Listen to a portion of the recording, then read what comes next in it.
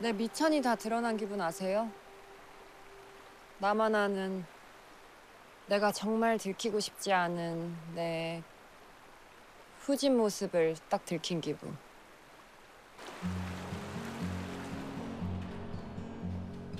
선배, 응? 이것 좀 확인해 주세요. 어머.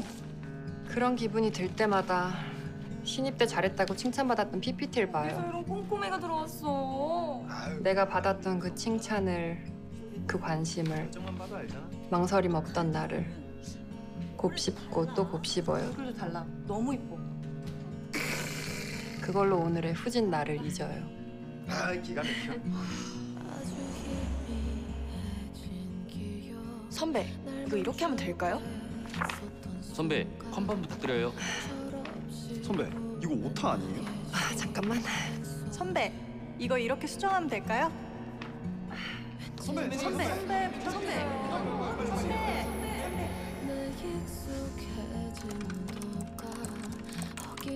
직급이 오를수록 내가 틀리는 게 너무 두려워요.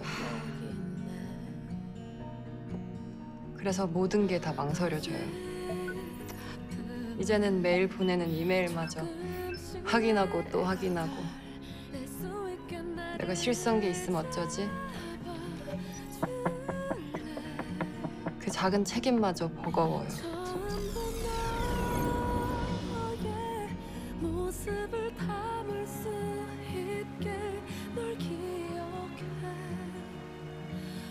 근데 그걸 들키면 안 되는 게 제일 지쳐요. 그래서 방패처럼 날 꾸몄어요.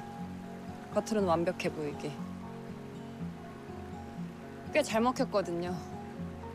근데 그녀가 나타난 거죠. 안녕하세요. 안녕하세요.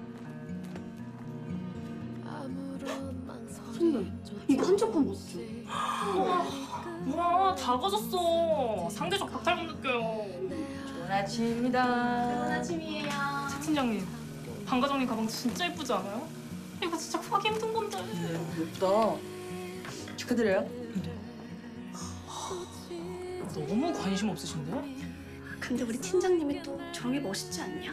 맞아 멋있어 저희 먼저 가볼게요. 안녕하세요